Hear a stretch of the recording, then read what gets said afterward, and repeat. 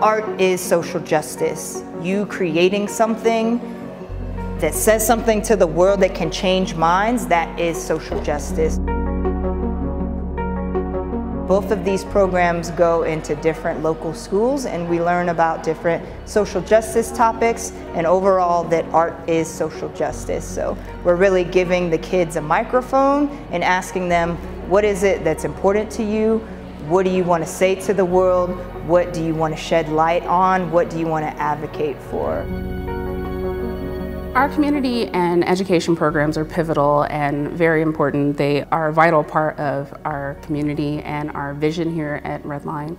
Uh, we are pride ourselves in being community responsive and providing the tools, the resources, and necessary mentorship and community power behind those initiatives to support our community.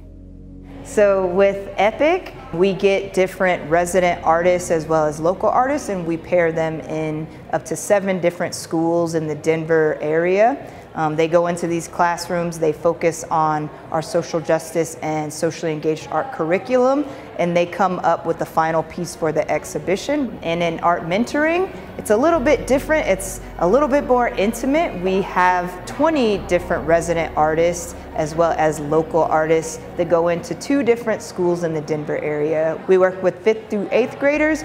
We hang out once a week after school for two hours and we focus on that same social justice and socially engaged art curriculum and overall just form strong bonds and friendships with these kids. At the end of the year, we also have a big show today, so we're side by side today with EPIC.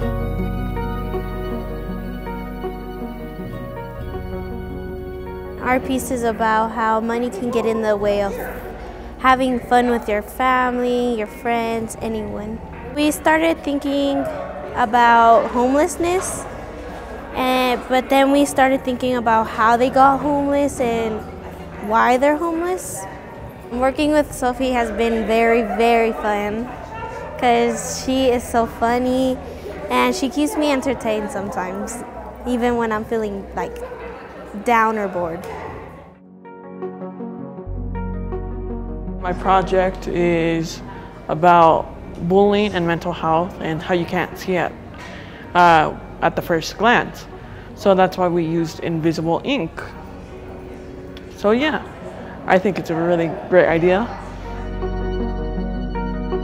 All of the work you see is straight out of the minds of the mentees. So it was the mentees' idea and the mentor pretty much just helped them along the path. They just helped push them 110% to do the best that they could with their projects.